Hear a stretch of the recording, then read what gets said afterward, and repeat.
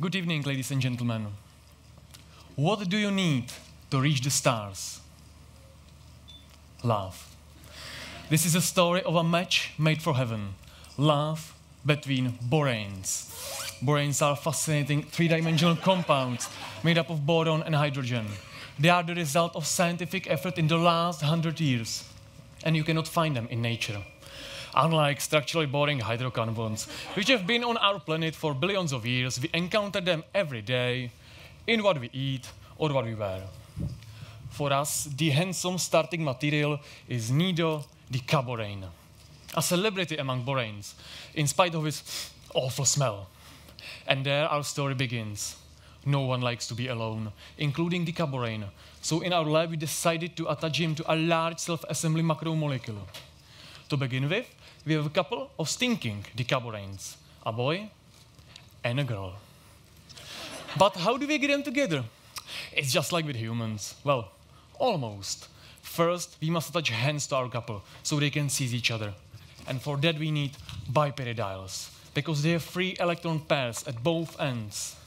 One is used for bonding their cluster, and the other remains free for seizing the loved one. But have you ever known hands to be enough to make a relationship work? Mm. Girls like muscles, so our boy must go to the gym, the electron gym, where functional groups are attached and enrich his cluster with electrons, making these ends more reactive. And now, no. Oh, of course, how silly of me to forget. This still isn't enough. I don't want to say that she's a gold digger. I'm really not saying that. But still, she most certainly won't refuse precious metals. But forget about gold or platinum. We need palladium. The girl grabs hold of the palladium and never lets go. So our couple is born.